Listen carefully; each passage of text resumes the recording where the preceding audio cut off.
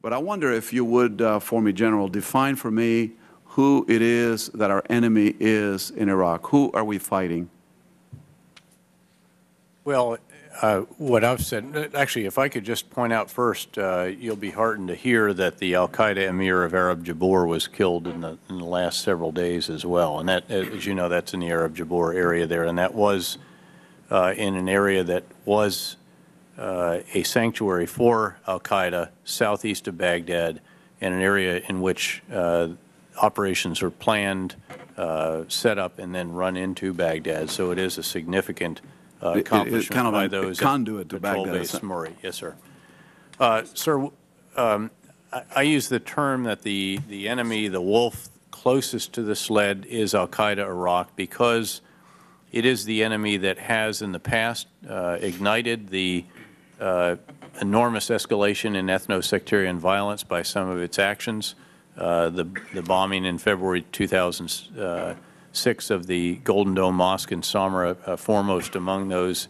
And uh, the enemy that, that causes the most horrific casualties, the most sensational attacks, uh, and again has an effect at, at, at times or tries to have an effect of pouring gas on burning embers wherever they can find them.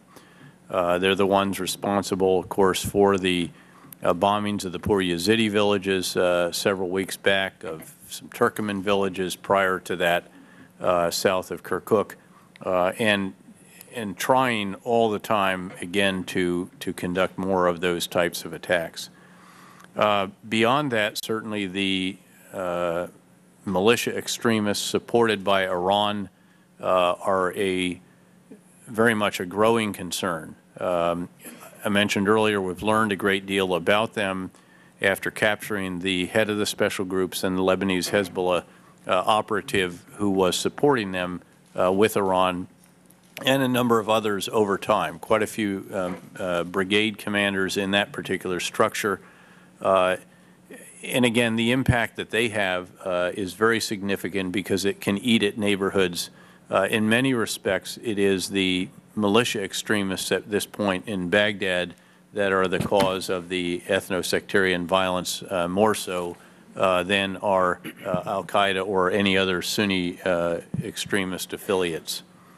And, and slide num- number 10, in my view, uh, gives a very graphic portrayal of the success that you've had against Al Qaeda Iraq. And we can add to this chart now the, the, the, the emir that you just mentioned from my old friends at Patrol Base Murray. God bless them.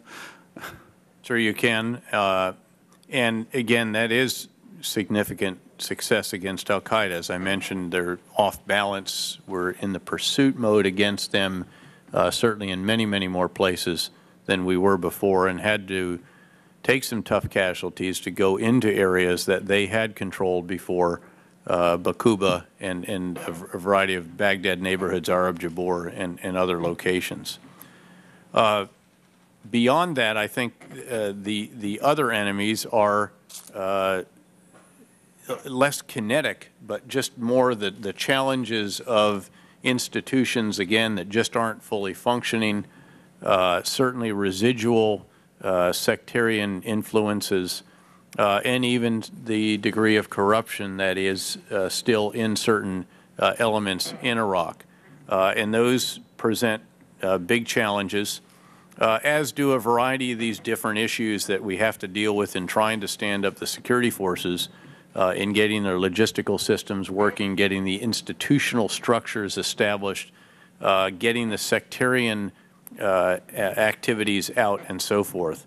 Uh, but that lays out, I think, the, the, the, the major challenges, uh, the two big ones, again, being uh, Al Qaeda and its affiliates. And there are still certainly Sunni insurgents out there uh, loosely affiliated or, or, or not in some cases, uh, and then the, the Shia militia extremists uh, who have caused such challenges in recent months.